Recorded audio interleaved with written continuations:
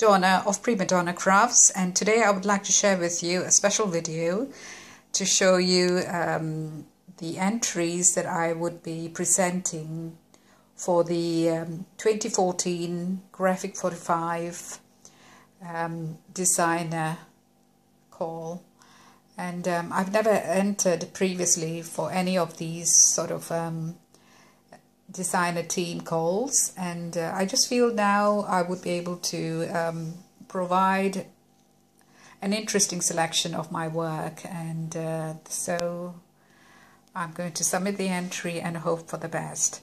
So to start off with I've got a cardstock mini album which is right in front here. This is my own design and uh, it is a very robust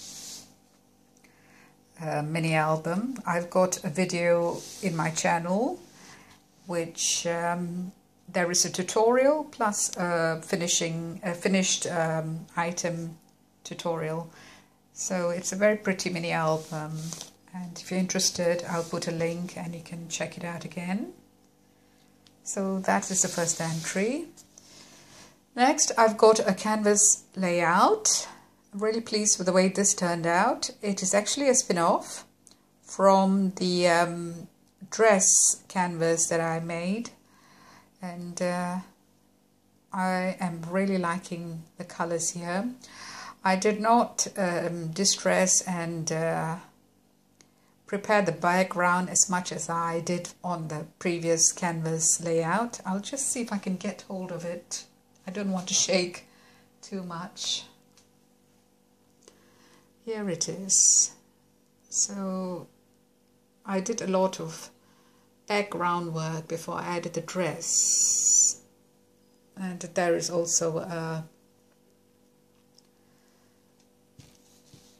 a video on that. So this is actually a spin-off and uh, this is uh, really a beautiful sort of a canvas layout ushering in the spring season so I've used the Once Upon a Springtime collection, which is so appropriate.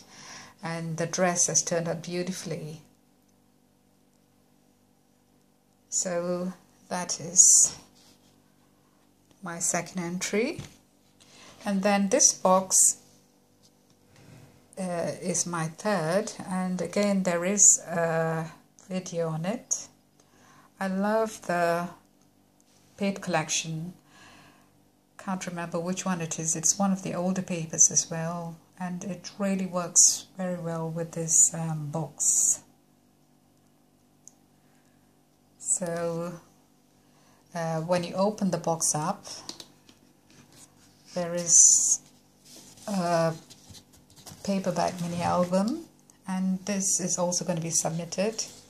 So there is an entry on this um, mini album as well.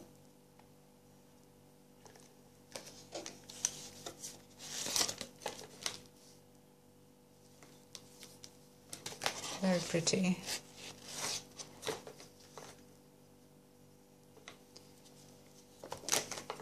And I love this page as well.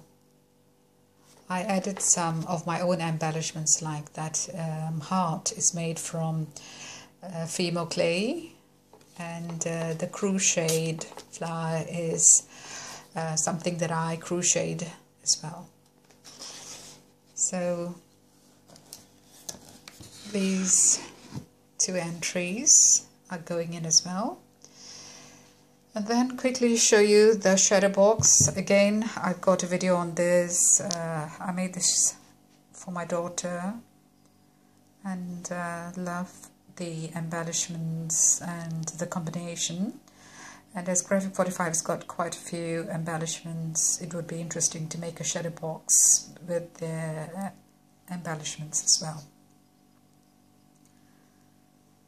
And next, um, I'm really proud of this entry because um, it just sort of came at the spur of the moment. I made this paper mache bottle a while ago and there is also a video on it. Um, but it was a plain bottle that I um, did the video on Sorry, I'm just trying to move away a few things so that you can get a better shot of it. So the um, steampunk collection really looks good with this um, bottle. And then I've used embellishments from Tim Holtz and Finnabair to complement the bottle. More Graphic 45 papers. It goes beautifully with this bottle which has now been altered. And